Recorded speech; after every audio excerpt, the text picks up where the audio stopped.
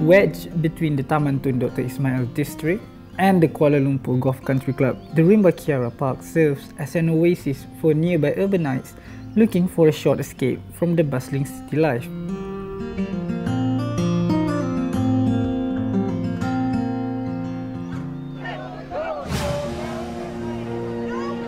The park, however, has been shrouded in a controversy after district residents found out that eight blocks of luxury apartments will be developed at a plot of land in front of the park. The development site currently serves as parking base for those frequenting the park and a residential area for the nearby Longhouse settlement. Several protests have been held by district residents throughout last year and this year but Federal Territories Minister Datuk Sri Tunku Adnan Tunku Mangso has recently stated that the project will go on as planned. Currently, there aren't any signs indicating that the controversy will end anytime soon, and such uncertainty has caused worry towards those involved in it, particularly the Longhouse settlers. Meet Krishna Kumari, a 56-year-old settler who has been living in the settlement for the last 36 years after the government acquired the nearby estate land that is now known as Bukit Kiara.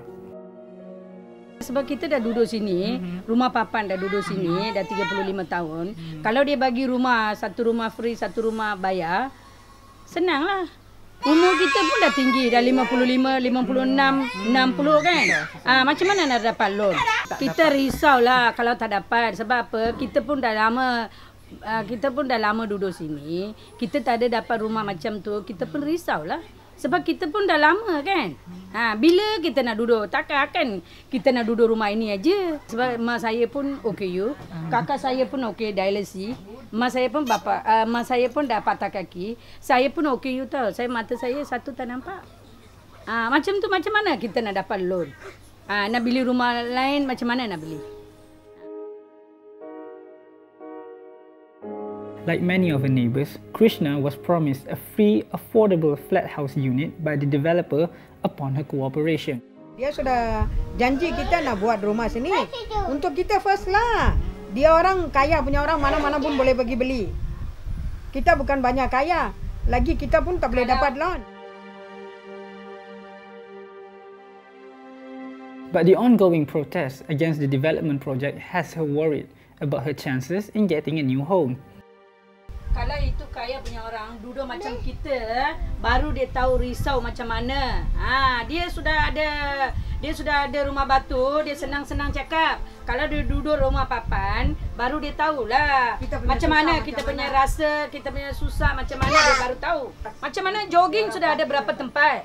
You mau tiga empat tempat kalau orang miskin nak pergi mana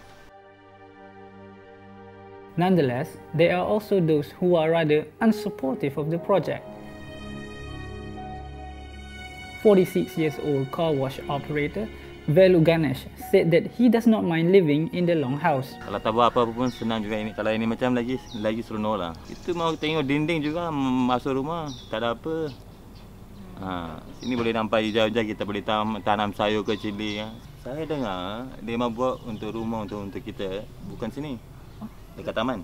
Sana dia mau buat apartment untuk kita. Mau pindah ke sana dulu. Hmm. Baru dia makan ni tempat. Bukan sini bawa belakang taman sebab tu dia orang hantar tu taman According to Velu Ganesh, this is the alleged site that will be developed into the settlers' free flat houses. As you can see, it is located deep inside the Rimba Kiara Park.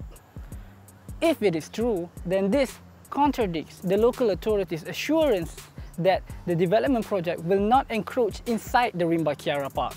It also means that the resident of Taman Tun Dr. Ismail might have an even stronger reason to oppose the project.